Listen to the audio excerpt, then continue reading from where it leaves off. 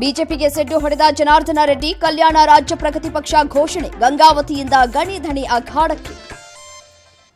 ಬೆಂಗಳೂರು ಏರ್ಪೋರ್ಟ್ನಲ್ಲಿ ಜನವೋ ಜನ ನೆರೆ ರಾಜ್ಯ, ವಿದೇಶಿ ಪ್ರಯಾಣಿಕರ ಸಂಖ್ಯೆ ಹೆಚ್ಚಳ, ಇಂದು ಒಂದೇ ದಿನ ಎಂಬತ್ತು ಸಾವಿರ ಮಂದಿ ಪ್ರಯಾಣ.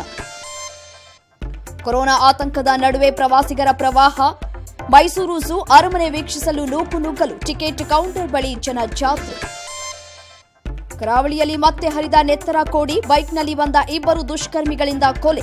ಸೂರತ್ಕಲ್ ಬಂದ್, ಬಿಗಿ ಪೊಲೀಸ್ ಬಂದೋಬಸ್ತ್. ಜಮೀನು ವಿವಾದದಿಂದ ನೂರಾರು ಮರಗಳ ಮಾರಣ ಹೋಮ, ಮೀನುಗಳಿಗೆ ವಿಷ ಹಾಕಿ ಕೊಂದ್ರ ದೂರುಳರು. ಚಿಕ್ಕಬಳ್ಳಾಪುರದಲ್ಲೊಂದು ಅಮಾನವೀಯ ಘಟನೆ.